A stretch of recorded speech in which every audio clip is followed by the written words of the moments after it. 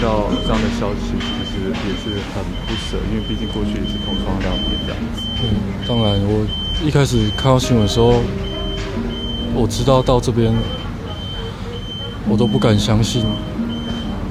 然后现在看到之后，变得不想去相信。我我没有办法想到。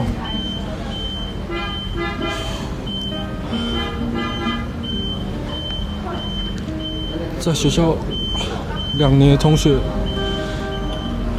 就这样子走了。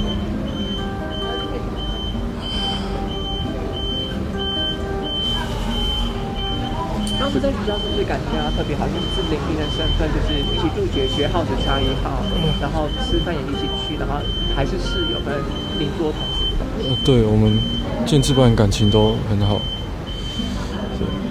那他的个性还在班上是怎么样？他。在长官跟同学之间都可以取得一个最好的平衡点，在同学之间他是最尽责的副班带，在长长官之中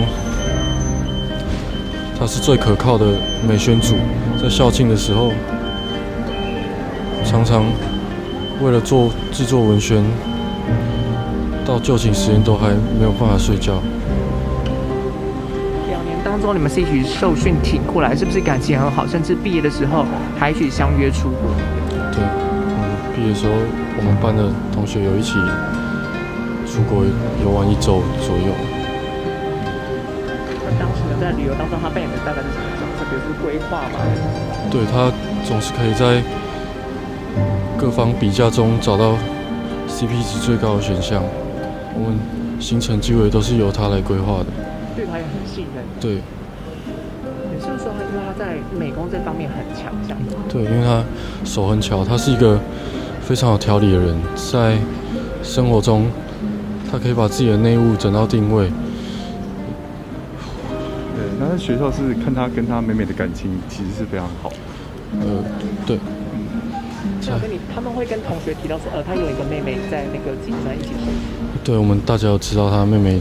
也在锦川，是我们的学妹。那么今天知道说要来这边指挥，等于是说附近的交通啊，那刚好就是同学在，刚好就是今天被送来这边，会不会觉得心中还是有一些感触？对，非常不舍，我我还是没有办法想象。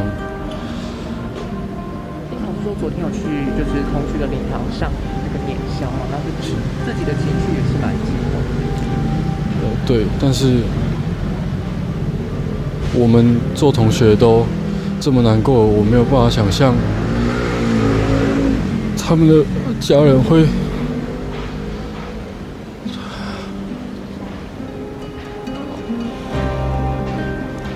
再去保送，保送，好，谢谢大家，谢谢大家。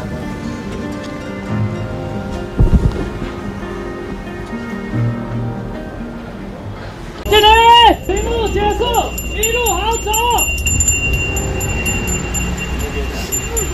玉红，勤务结束，一路好走。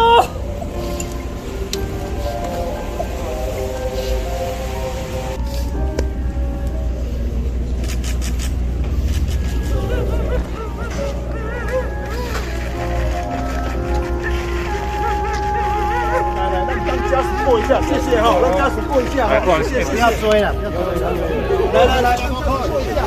玉红，请勿结束，一路好走。